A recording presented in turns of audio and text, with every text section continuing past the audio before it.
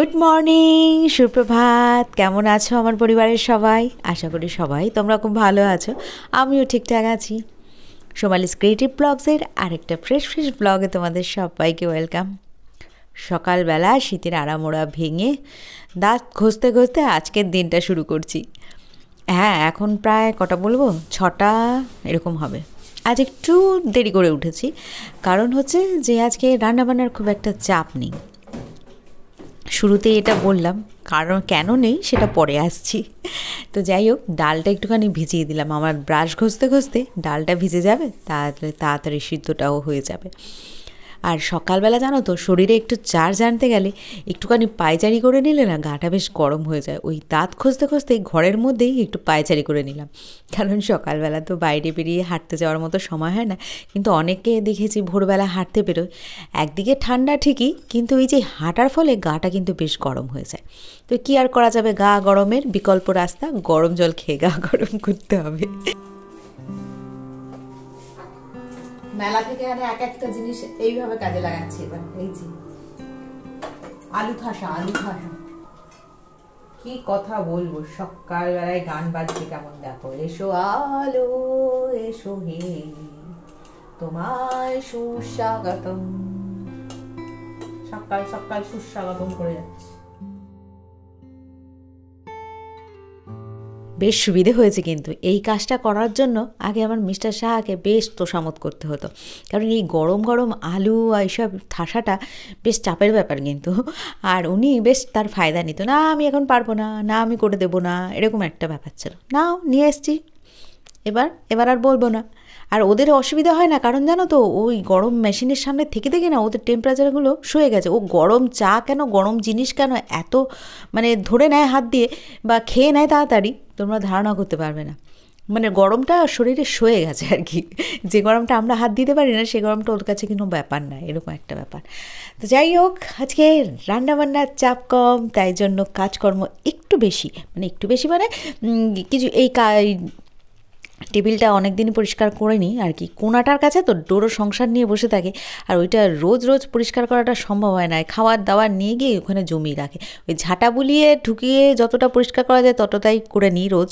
আর এরকম সরিয়ে ঠরিয়ে একটু ভালো করে পরিষ্কারটা তো রোজ হয় না। তো ভাবলাম আজকে যেহেতু একটু হাতে সময় রয়েছে, সেটাই করে নিই। আর দেখবে কাঠের ফার্নিচার টার্নিচার না, যত একটুখানি মুছে রাখবে, ওর নতুন ভাবটা তত বেশি দিন থাকবে আর কি। এই যে চকচকে একটা পালিশের যে ভাব থাকে না, সে পালিশটা কিন্তু আরও বেশি লং লাস্টিং হবে।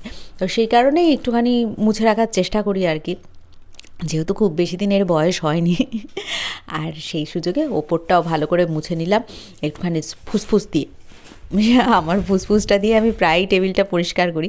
কারণ কি বলতো, এর মধ্যে এমন এমন জিনিস আছে যে ব্যাকটেরিয়াগুলোকেও মেরে দেবে। যদি ছোটোখাটো পোকামাকড় কোথাও বসতে যাতে না পারে, তার ব্যবস্থাটা করে রাখছি। আর টুকটাক একটু ডাইনিং হলটাকে ক্লিন করে নিলাম, সময় আছে যেহেতু। তারপর পরিষ্কার টরিষ্কার করে এখন যাব স্নানটা। এটাই আর কি লাস্ট কাজ থাকে। ওই স্নানের আগে যতটা পারি একটুখানি পরিষ্কার টরিষ্কার করে রেখে দিই। আর সাদা বেসিনটা তো এটা রোজকার ধোয়ার ব্যাপার, কারণ এটা ডেলি ইউজ হয় আর এই জায়গাটা একদম সামনে থাকে বলে আমাকে প্রতিদিনই এটা পরিষ্কার করতে হয়। শীতের সকালে একটা মোস্ট ইম্পর্ট্যান্ট কাজ, নারকেল তেলের কৌট। রোদে দাও। সকালবেলা যখন ছেলে স্নান করে, ওকে বলি গরম জলের মগের মধ্যে কৌটোটাকে বসিয়ে রাখ। এবার ওই জন্য এইরকম টাইপেরই কৌটোটা নিয়েছি যাতে এখানটা খোলা যায় বা এই ঢাকনাটাও খোলা যায়, দুটোই খোলা যায়। তো আর তারপরেও বেলার দিকে আমি কি করি, এটা একটু রোদে বসিয়ে দিই। এখন একদম পুরো গলে গেছে টল টল করছে দেখো টল টল স্নান যাব, মোটামুটি ঘরের কাজকর্ম সব হয়ে গেছে। এখন স্নানটা করলে, পুজোটা করলে, ছুটি। আজকে রান্নাবান্নার খুব একটা ঝামেলা নেই না? বিয়ে বাড়ি আছে? অনেকদিন পর বিয়ে বাড়ি পড়েছে একটা। আর শীতকালে বিয়ে বাড়িতে খেয়েই মজা আছে। সে যে মজা নেই, গায়ে একটা বস্তা চাপিয়ে যাও। এই হচ্ছে কথা। ও, স্নান করতে হবে। কি দুঃখ। শীতকালে স্নানের ব্যাপারটাই হচ্ছে চাপের। কাজ করে করে গা গরম হয়ে গেছে তবু আরামোড়া ছাড়ছে না শরীর থেকে। না, সময় নষ্ট নয়। গাছগুলোতে জল দিয়ে জল দিয়ে স্নানটা করে আসি।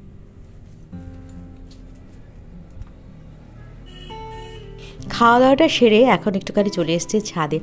আর জামা কাপড়গুলো মেলে দিয়ে গেছিলাম, প্রায় শুকনো। এখন কটা বাজে জানো তো? আই, আড়াইটা, দুটো আড়াইটা এরকম হবে। তো নিয়ে ভাবলাম যে যেহেতু বিয়েবাড়ি আছে, তো তার আগে স্কিনটাকে একটু প্রিপেয়ার তো করতেই হবে।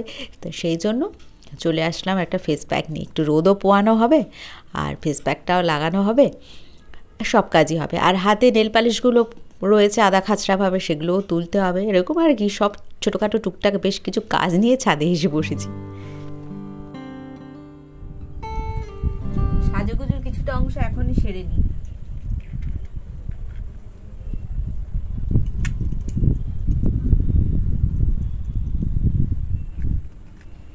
নেল রিমুভারে এই যে মুখটা থাকে না, এটা একটা ছোট্ট পিন দিয়ে ফুটো করে নেবে। তাহলে কম খরচা হবে, কম আর কি। নাহলে যদি এটা পুরো খুলে খুলে বারবার করতে যাও, তাহলে বেশি তাড়াতাড়ি রিমোভারটা শেষ হয়ে যাবে। রোমাটা ছোট্ট ফুটো করে রাখবে, ঝাঁকিয়ে ঝাঁকিয়ে নেবে, দেখবে কি সুন্দর বেরিয়েছে। আমার এটা প্রায় পুজোর আগে নিয়েছিলাম, সেটা এখনও চলছে, দেখো, এতটুকু হয়েছে।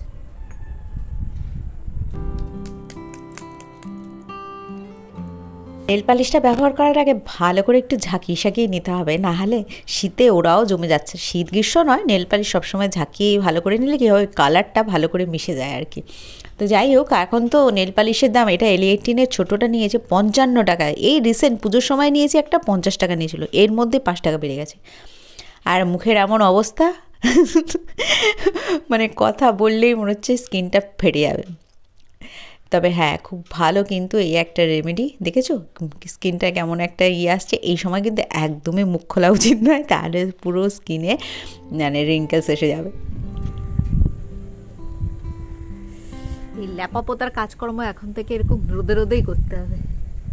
নাহলে ঠান্ডায় জমে যেতে হবে। রোদের মধ্যে মুখটা ধুলাম বলে বেশ মজা লাগছে। হয়ে গেল স্কিনটাকে এবার একটু ময়শ্চারাইজার মেখে নেব। ব্যাস রেডি বিয়ে বাড়ি যাওয়ার জন্য। যাব যদিও অনেক রাতে। কারণ ছেলেকে পড়াতে আসবে বাড়িতে, স্যার। নীল পালিশের কালারটা কেমন হয়েছে? ক্যাটক্যাট করছে বড্ড, না? রোদে তো ক্যাটক্যাটই করছে। জানি না রাত্রিবেলা কেমন করবে। এই কালারটা অনেকদিন পর পরলাম মানে এরম টাইপের ছিল না। আমি কালকে, কাল কাল না, বুধবার দিন বুধবার দিন যে গেছিলাম ছেলেকে নিয়ে, পড়াতে নিয়ে গেছিলাম, তখনই কিনেছিলাম। আমার দু হাতে নেল পালিশ পরতেই খুব ভালো লাগে, সব সময়। আমি বরাবরই পড়তাম যখন স্কুলে পড়তাম তখন বাদ দিয়ে, তাও ছুটি ছাড়া থাকলে পড়তাম আমার দু হাতে এরকম বড় বড় নখ ছিল। এখন আর সেগুলো রাখা হয় না। নখ। দেখা যাবে সব উল্টে ভেঙে চুড়ে একাকার হয়ে গেছে। সারাদিন ঘষা, মাজা, মোছাতে। রোদে তাকানো যাচ্ছে না। আহ, স্কিনটা কি সফট হয়ে গেছে। টাচ করো টাচ করো। টাচ করো দেখো।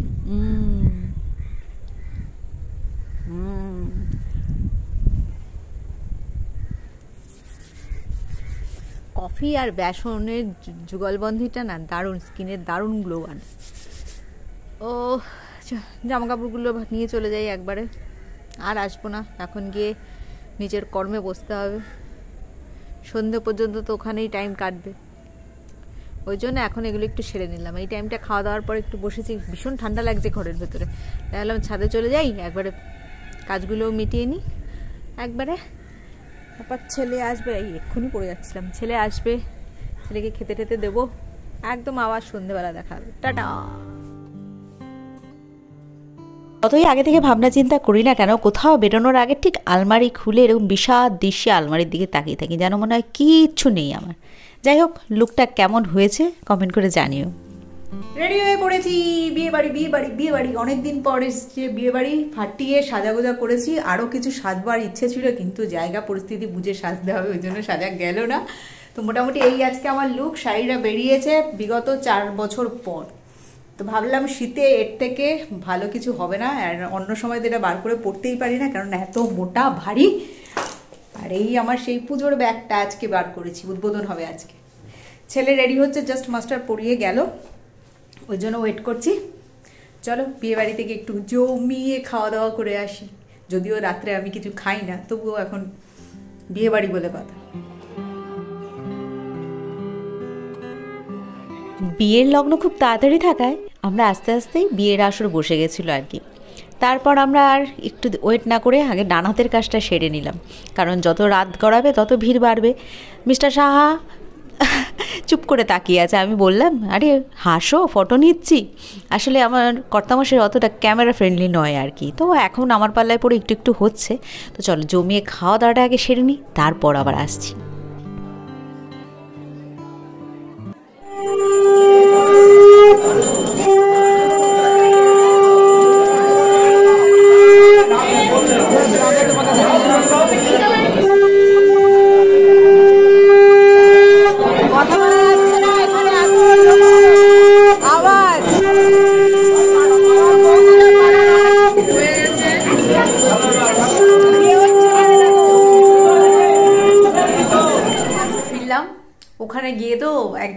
কথাবার্তা বলাই যাচ্ছিল না, এত লোকজনে চিৎকার চেঁচামেচি বিয়ে বাড়িতে যেটা হয়, গান বাজছে। তো খাওয়া দাওয়া মোটামুটি ভালো ছিল, খাওয়া দাওয়া কমপ্লিট করেছি। এখন তো এই শীতের বেলায় সব তোলাটাই হচ্ছে কষ্টকর ব্যাপার, সাজতে তো ভালোই লেগেছিল। এখন তুলতে দে, ঠান্ডার মধ্যে, ও। এগারো, তাড়াতাড়ি চলে এসছে দেখো, এগারোটা বাজেনি এখন। তাড়াতাড়ি ঢুকে গেছি। এখন ফ্রেশ ট্রেশ হই চেঞ্জ টেঞ্জ করব।